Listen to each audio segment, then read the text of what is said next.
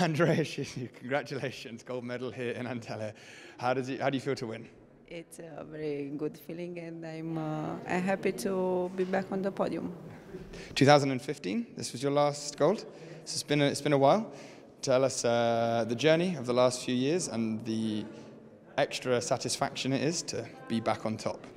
Uh, the satisfaction is even more to win a, a gold medal after uh, I had some difficult years since 2016 so it's good to be back and it's good to that my health is also good so we'll see what will happen after Your judo was fantastic. You threw uh, a Russian big very early in the day, and you had a really good final. Uh, tell us about your day and tell us about the final. I love judo. I love to throw, and I think it's a very beautiful sport that uh, offers you a lot of uh, of uh, chances, a lot of uh, mental um, chances, and um, I like to to be uh, to have an open style. In the final, you were against Munkhbat, former world champion, very tough opponent. Tell us about your tactics going in to fight her and uh, how they paid off. Um, I didn't think I had uh, specific tactics. I just want to fight with her, and I just want to uh, throw her, and I just want to uh, see how will the match continue after I do my techniques. So some of them succeeded, some of them not.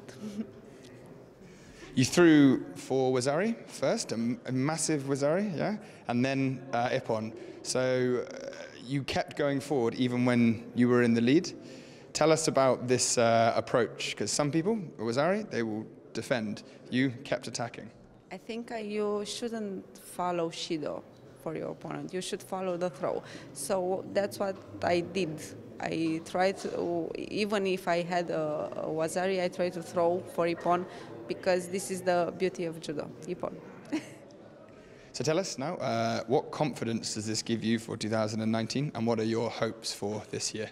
I hope to to increase. I hope to uh, get a better uh, better shape. Why not? Uh, and um, I hope to to learn more from every competition. Even it's a medal, even it's not a medal. I hope to to learn from every every match. One last question. Tell us uh, why judo? What makes judo special or different to everything else? It's a very complex sport. It teaches you respect, it teaches you discipline, it makes you think, even if you, you're, uh, uh, I don't know how to say that. It makes you, uh, it makes you a good, uh, a good athlete. You are, you are. Um, it's it's a very beautiful sport. Thank you very much.